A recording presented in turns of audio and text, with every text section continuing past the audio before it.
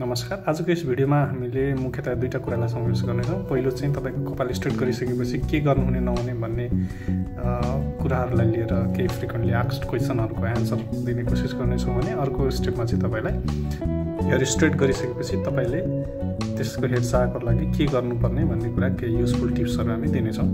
भिडियोलाई अन्त्यसम्म हेर्नुहोला लाइक सेयर गर्नुहोला र सब्सक्राइब पनि गर्नुहोला।